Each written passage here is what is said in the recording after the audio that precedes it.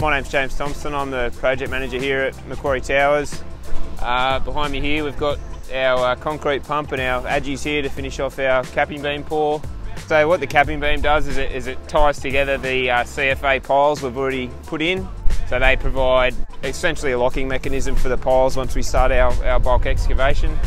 The, capping beam and the piles are part of um, the retention wall system that, we, that we're using for our basement. So once the capping beam's done, that'll allow us to come back and strip the formwork off the reinforced concrete capping beam.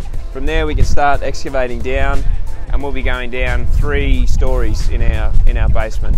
Expected duration of that is, is within sort of two to three months from when we start stripping the capping beam. And from there our basement walls are done and we can start going back up again. Hi everyone, Peter here from GWH Real Estate. Just giving everyone a construction update on Macquarie Tower. Despite the interest rate rises over the last few months, the confidence in our inquiry has been quite strong in the last three to four weeks in particular, with numbers of appointments in our display suite increasing every single week. Our team at GWH Real Estate are really excited about the feedback we're getting from our buyers that have purchased so far Macquarie Tower.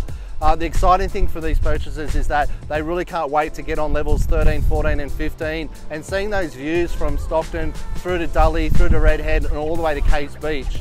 Uh, it's really incredible to see ocean views from Lake Macquarie in Charlestown. Uh, we can't wait.